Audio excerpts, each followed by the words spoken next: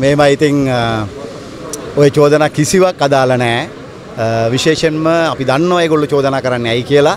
අද වෙනකොට ආණ්ඩු පක්ෂයේත් විපක්ෂයේත් එවගේම රටට අතුරු සියලු බලවේගවල ප්‍රබලතම ප්‍රධානතම සතුර බවට පත් වෙලා ඉන්නේ මාලිමාවේ අපි ජාතික ජනබලගේ අපි. එනිසා චෝදනා එවගේම අවලාද ගැරහුම් කිසිවක් අපිට අදාළ නෑ. අපි ඉතාමත් ශක්තිමත්ව අපේ ගමන පෙරට යමින් තිබෙනවා. අද ඓතිහාසික මැයි සැමරුම් හතරක් අපි රට පුරා පැවත්වෙන අපි අද උදෑසන තන්දේ සෙල්වා ශාලාවේදී යාපනයේ මැයි දින සමරුව පැවැත්වුවා. ඒ වගේම අද සවස තව සුළු මොහොතකින් මේ ස්ථානයේ BRC පිටියේ සිට CWW කන්නංගර මාවත දක්වා දැවැන්ත මැයි පෙළපාලියක් යන අපි සූදානම් වෙලා ඉන්නවා.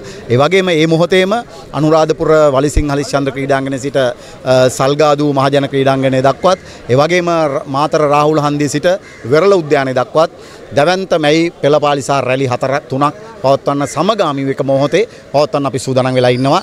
අපි හිතනවා මේ රටේ කිසිදු දේශපාලන පක්ෂයකට එහෙම කරන්න හැකියාවක් නැහැ. ඒ විතරක් නෙමෙයි.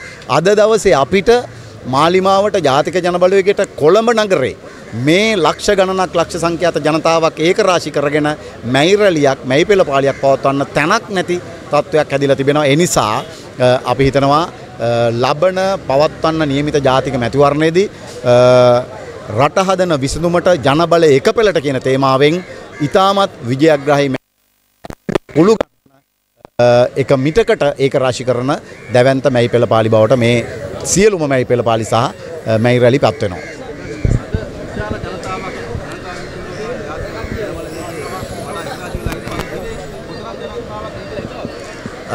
ඇතරම අවම තරමින් එකන්නේ අවම ලක්ෂකට එහා පිරිසක් හැම මැයි රැලියකට සහ පෙළපාලිකට සහභාගි වෙනවා ලක්ෂ සංඛ්‍යාත ජනතාවත් රටපුරාම මේ මැයි රැලි තුනට සහ පෙළපාලි තුනට සහභාගි වෙනවා.